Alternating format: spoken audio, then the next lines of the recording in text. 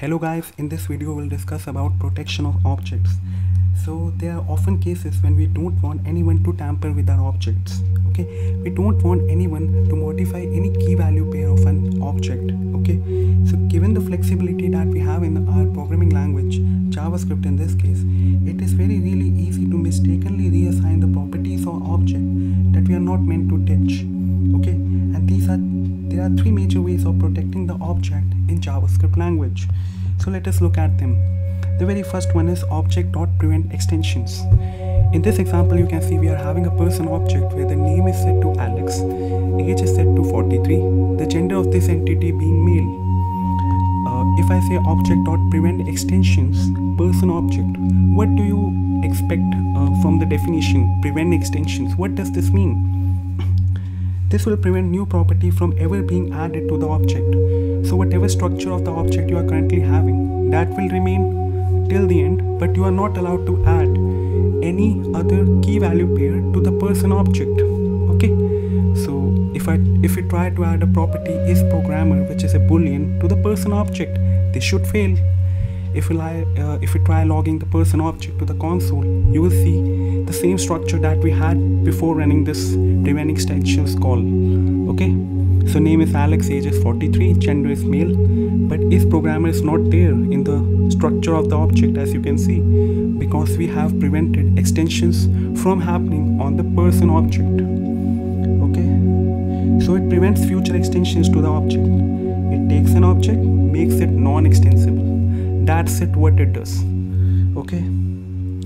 So moving further let us understand about object.seal but before understanding this let's move back.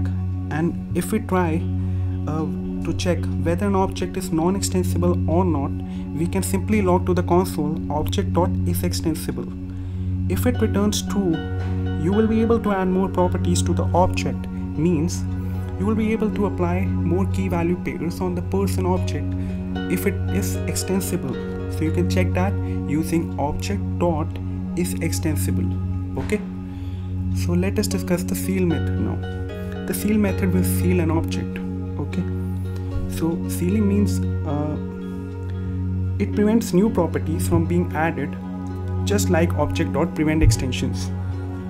It marks all the existing properties as non-configurable the values of present properties can still be changed as long as they are writable. If the properties are writable, you can change those key value pairs. Okay. Otherwise, it will get sealed normally, and it is preventing the new properties from being added on, just like prevent extensions. And the value of present properties can still be changed as long as they are writable. That's the key takeaway and in short it is preventing adding and removing the properties. Okay? So on the screen you can see that we have a person object the same person object. We have sealed the person object. If we try to delete the name property that is sitting on the person object this will not work. Okay? And if we try to modify the name property this also doesn't work because we are not allowed to update if we're using the seal method. And if we try to log the person object to the console it is exactly it exactly has the same structure which it had before the invocation of seal method okay? If we check object dot is extensible obj uh, not obj it's person object uh, my mistake guys. So if we check uh, for is extensible person object this will return false okay? Since uh, it works exactly same as prevent extensions so you are not able to extend or add more key value pairs to the person object. Okay? So finally we have the object.freeze method. Freeze provides the maximum protection any javascript object can have. Okay? It sees the object using object.seal so under the hood it provides the maximum protection to an object. And under the hood it invokes the seal method on the object. It seals the object. Okay it just the freeze method behind the scenes is invoking the seal method to seal the object. It also prevent modification of any existing properties at all. It also prevent the descriptors from being changed as the object is already sealed okay? So you will not be able to change the object since it is already scaled uh, it is already sealed and you cannot change the descriptors if it is sealed so for the uh, as an example you can see we have the person object here. If we seal the person object the seal method gets invoked behind the scenes. This will prevent modification of any existing properties. If we try to delete person object dot name this is a modification. It doesn't works. If we try to change the name for the person object this doesn't work. Uh, if we check is extensible on the person object uh, it returns false because it works similar to prevent extensions. You are not able to add any key value pair to your person object. Okay so it will return false.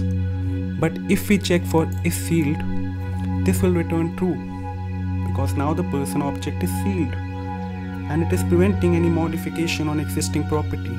So it has sealed the object and this sealing will not allow any modification at all of any sort if we check object dot is frozen on the person object this will also return true. So this offers maximum protection to any object of javascript. So to conclude uh, this is the whole summary for the video. Uh, create read update delete.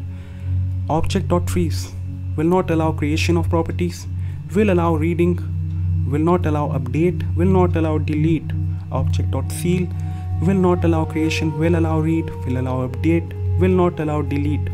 And object dot prevent extensions the very first one that we discussed will not allow create will allow read will allow update and will allow delete.